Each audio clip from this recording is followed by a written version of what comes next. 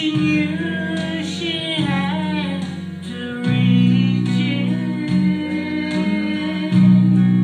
for it was her last hope of ever being.